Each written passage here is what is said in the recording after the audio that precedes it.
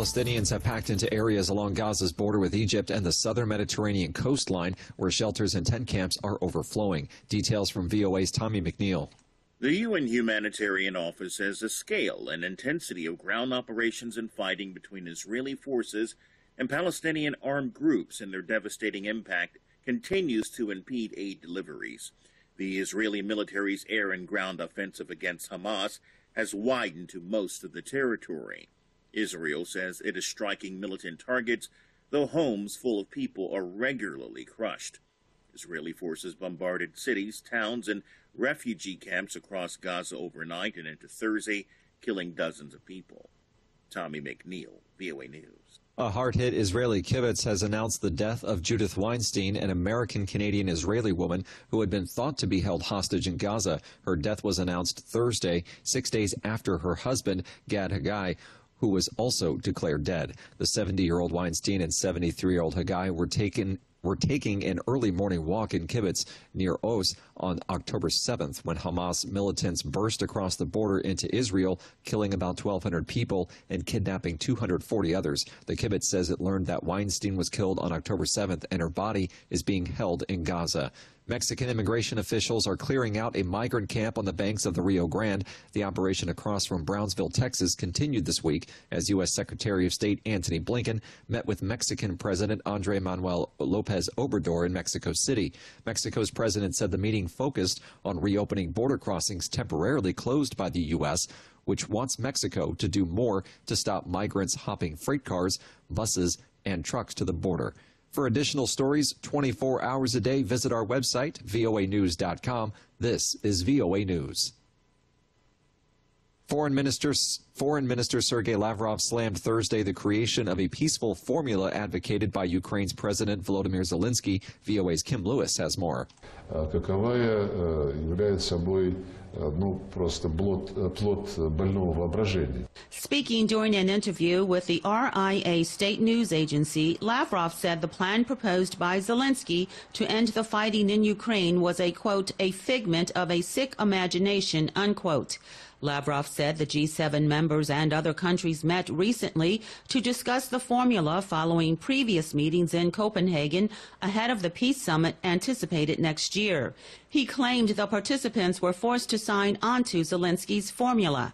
Kim Lewis, VOA News. Belarus's authoritarian leader has attended a meeting with children from Russia controlled areas of Ukraine, openly defying an international outrage over his country's involvement in Moscow's deportation of Ukrainian children. President Alexander Lukashenko spoke during a meeting on Thursday, marking the arrival of a new group of Ukrainian children ahead of the Uh, New Year holiday.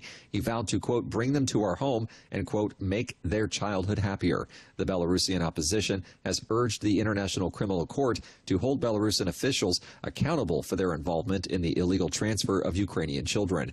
Houses were damaged, trains were canceled, and thousands of people were left without power across Scotland and parts of northern England Thursday amid a storm that brought heavy winds, rain, and snow. AP correspondent Karen Chammas reports. Storm Gerrit, named after former Dutch weatherman Gerrit Hiemstra, wreaked havoc in Scotland, Wales, Birmingham, Bristol, and Yorkshire, among other locations. Felling trees, snarling traffic, suspending train services, and bringing down power lines. Police in Manchester and northwest England said they received numerous reports of homes damaged by a brief localised tornado. President Dominic Halpin described his experience. I was just sat on the bed and I heard this noise, this rumble. It just got louder and louder. And it was literally just 30 seconds of mayhem. Heathrow Airport cancelled 18 flights on Wednesday because of air traffic control restrictions. Karen Chammas, London. Zambian anti-corruption authorities say they will investigate after a video on social media allegedly showed the foreign minister receiving piles of cash from a Chinese businessman. Stanley Kakubo resigned but denied wrongdoing and said he had stepped down because he didn't want the issue to be a distraction for the government. He didn't deny he was in the video, but said there had been, quote, malicious claims over a business transaction between my private family, business, and our business partner. Kakubo has been accused of receiving $200,000 and a Mercedes Benz in the deal.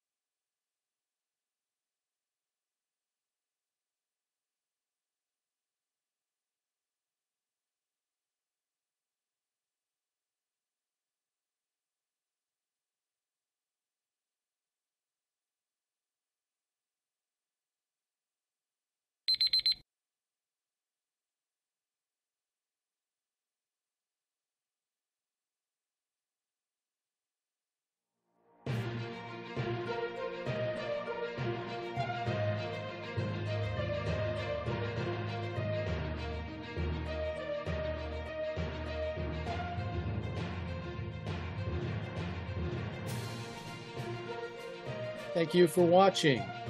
Can you do me a favor? Please leave a comment in the comments section below. That would really help. Thank you and see you again soon.